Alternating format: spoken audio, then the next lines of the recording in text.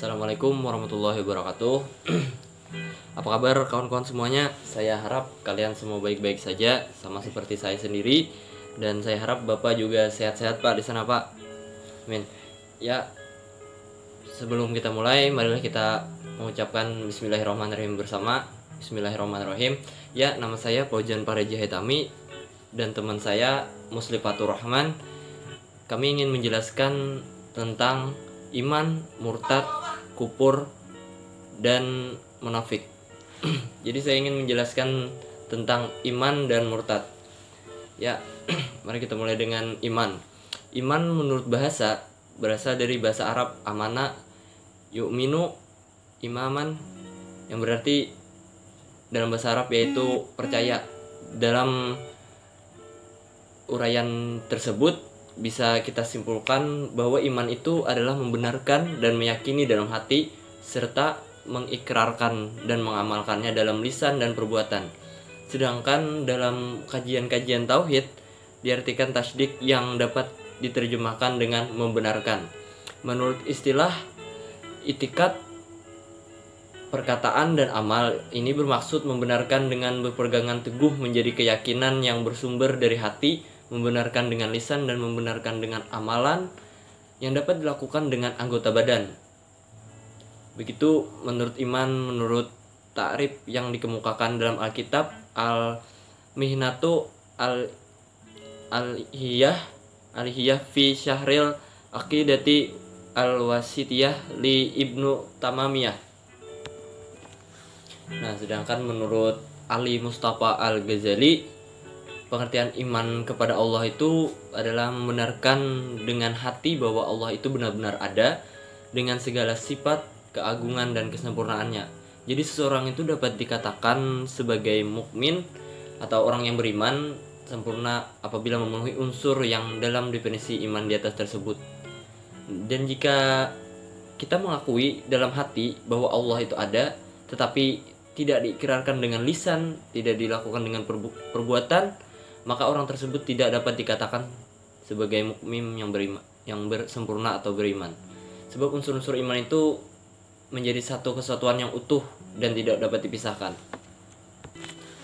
Ya, dalam surah Al-Anfal ayat 2 sampai 3 yang berarti sesungguhnya orang-orang yang beriman ialah mereka yang bila disebut nama Allah gemetarlah hati mereka dan apabila dibacakan ayat-ayatnya bertambahlah iman mereka karenanya dan hanya kepada Tuhanlah mereka bertakwa yaitu orang-orang yang mendirikan sholat dan yang menafkahkan sebagian dari rezekinya diberikan kepada mereka. Da, kemudian nah malaikat Jibril bertanya kepada Rasulullah kabarkanlah kepadaku apa iman itu? Dan Nabi menjawab berimanlah engkau kepada Allah malaikat kitab-kitab Rasul dan hari akhir dan berimanlah kepada takdir baik maupun takdir buruk. Hadis riwayat Muslim nomor 8. Ya, kita masuk ke iman kepada Allah Subhanahu wa taala. Sebenarnya iman rukun iman ini sudah kita bahas di dalam kelompok sebelum-sebelumnya. Tapi kita ungkit kembali untuk mengingatnya kembali. Yang pertama yang kepada Allah Subhanahu wa taala yaitu seorang tidak dapat dikatakan beriman kepada Allah jika dia tidak mengimani adanya Allah, mengimani adanya uluhiyah Allah dan mengimani semua nama dan sifat Allah. Dan yang kedua, iman kepada malaikat. Iman kepada malaikat itu rukun iman yang kedua jadi dan kita wajib mengetahui 10 malaikat dan itu kita sudah belajar dari MTS mungkin dan lanjut ke tiga iman kepada kitab-kitab. Kitab-kitab ini ada empat macam yaitu Taurat, Injil, Jabur, dan kitab suci Al-Quran. Kemudian iman kepada Nabi dan Rasul dan yang wajib juga kita ketahui adalah 25 Nabi. Dan saya pasti dan saya tahu kalian semua pasti udah tahu apa siapa-siapa Nabi tersebut. Dan lanjut ke lima iman kepada hari kiamat iman kepada hari kiamat. Kepada hari kiamat yang yang berarti kita harus percaya bahwa hari akhir itu ada nanti. Pasti pasti. Dan yang keenam lanjut. Ya, iman kepada qada dan kadar. Qada itu adalah takdir yang tidak bisa diubah. Seperti kayak kematian, jodoh, rezeki dan lain-lain. Sedangkan qadar itu yang bisa dirubah kayak kelakuan kita nih nah. Misalnya kelakuan kita nih buruk bisa kita ubah menjadi kelakuan yang lebih baik gitu nah. Dan lanjut kita membahas tentang murtad atau jarimah rid'ah nah.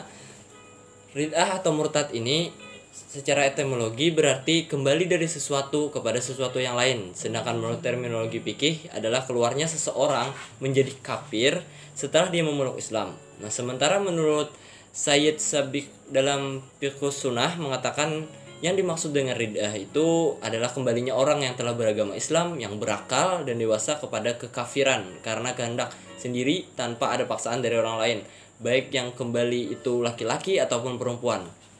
Ada juga menurut Jainuddin dalam hukum pidana Islam menjelaskan bahwa rid'ah atau murtad ini kembalinya seorang muslim yang berakal dan balik untuk memilih keyakinan agama lain das, das, dalam dasar pilihannya sendiri bukan paksaan. Jadi kesimpulannya itu rid'ah itu adalah keluarnya atau orang itu nah keluar mata anu pindah berpindah agama dari Islam ke agama lain. Tanpa ada unsur paksaan dari hatinya sendiri. Kalau kawa kita harus kayak itu lah. Nah rid'ah atau murtad itu merupakan perbuatan yang paling buruk paling berat hukumannya. Neraka pasti udah auto neraka serta pokoknya pahalanya yang dahulu tuh gindah hilang itu nah. Jika bila kita sampai mati itu nah. Nah sedangkan orang yang kap orang yang murtad eh, orang irit ah ini disebutnya murtad orang yang keluar dari Islam nah. Allah berfirman dalam Al-Quran surah Al-Baqarah ayat 217 yang artinya barang siapa yang murtad di antara kamu dari agamanya lalu dia mati dalam kekafiran maka mereka itulah yang sia-sia amalannya di dunia dan di akhirat dan mereka itulah penghuni neraka. Di neraka tuh mereka kekal. Nah kadangnya nyamanan. Bayangkan ya seorang hidup berpuluh-puluh tahun di dunia dah. Beramal-amal murtad habis itu kita. Ya kita pakai amalan kita tadi tuh nah.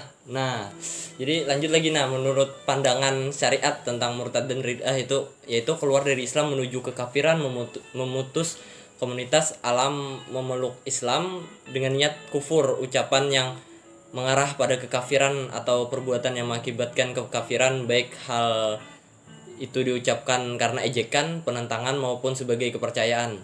Artinya keluar Islam da da itu dapat terjadi karena kepercayaan, ucapan dan perbuatan di sisi lain. Kita pandiran hanya jadi murtad gini kan baik dah. Itu kan baik benar dah.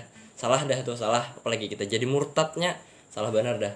Nah, kemudian lebih jelasnya lagi nah, menurut Sulaiman Rasjid dalam fikih Islamnya mengatakan itu terjadi karena tiga sebab perbuatan yang mengkafirkan seperti sujud pada gerhana, sujud pada berhala, penyembahan matahari dan lain-lain. Yang kedua perkataan yang mengkafirkan seperti menghina Allah, Rasulullah, begitu juga memaki salah seorang nabi dan lain-lainnya.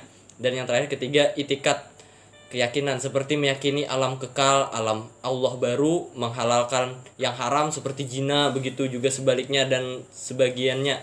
Kan ada juga loh orang kayak itu nah, ini merasa kayak misalnya mabuk-mabukan tuh nyaman menurutnya, tapi itu bertentangan dengan Islam, jadi dia keluar dari Islam gara-gara mabuk karena mabuk ya. Pada itu kan baik, jangan gitu gitulah. Dan dan yang lanjut kehukuman bagi pelaku rid'ah atau orang murtad tuh nah di dalam surah Al-Baqarah ayat 217 dan ya, jam 17 tadi yang sudah saya sebutkan tadi yaitu artinya sesungguhnya orang-orang yang beriman kemudian kafir kemudian beriman pula kemudian kafir lagi kemudian bertambah kekafirannya maka sekali-kali Allah tidak akan memberi ampunan kepada mereka dan tidak pula menunjuki mereka kepada jalan yang lurus.